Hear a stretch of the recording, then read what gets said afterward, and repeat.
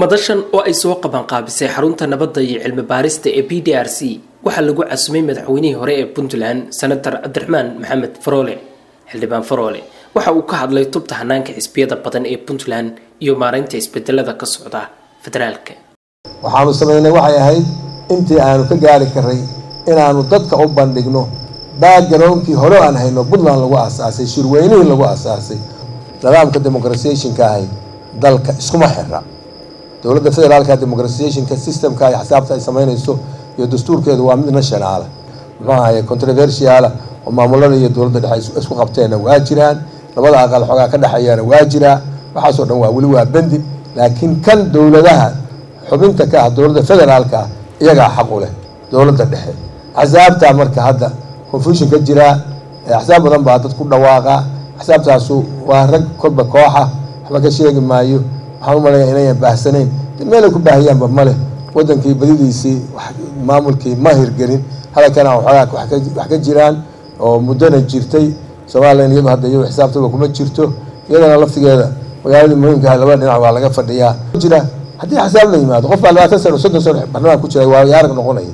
Oo muxuu ahay lagu aamini karaya xilka aqoon leh. Kuwa arjigu u sii qoran yahay odayaal baa wax laga saxiixaya meelaha farfadhiyo waxay ka shaqayn doonaan aan weli aqoon. Nimankaa ka shaqayn doonaan. Marka waxaas maxaa ku falaysaan waxaas hadda weli khusuusan dadkan hadda wejigooda hor fadhiya waa yar yare. War waxaa lafiina u diido ka carar ma garatay nidaamka axsaabta raac wax berfata laakiin wax ugu dhow oo dad marri kara waa nidaamka waa nidaamka oo si fiican loo abaabulo. Haddii axsaabtii la soo celinayo kii xirmay isagaa yaqaan laakiin horseed waa horseed political party waa furan yahay anuu puntland tartami maayo mar madaxweyne kama rabe. Ciddii markaa u qalantay waan ku wareejinayaa bulshada kulankan ka soo qayb gashay ayaa su'aalo u badan hanaanka xisbiyada badan ee puntland weydiiyey xildhibaan faroole iyo aqoon-yahano kale oo iyana halkan lagu casumay waxayna tilmaameen inay wax badan ka horeeyaan hanaanka xisbiyada. Qolada marka haddii aan institutions adag jirin meel lagu kala baxaa jirin inay si fudud xataa laisugu inkaro la isku qabsado natiijooyinkii marka anigu waxaan qabaa waxa arinta madaxweynaha iyo gudoomiyaha ka dhawaajin waa sax. Wax badan baa dhinaca shuruuc laga qabtay.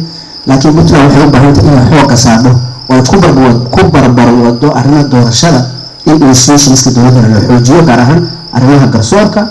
Awooda baarlamanku officeedka u leeyahay laftigiisa in la xoojiyo garsoorka waxaan ku dari lahaa keliya intii la sheegay in loo baahan yahay in degdada la bilaabo wacyigelin ku jihaysan voteriska dambe. Ya? Iyo inay laga dhaadhiciyo inay ku go'aan wixii ka soo baxa. Aanba la gaarin khilaafyo badan loona tusiyo inay marxalad la maraayo tahay oo waxbarasho u baahan iyo ka gudbin.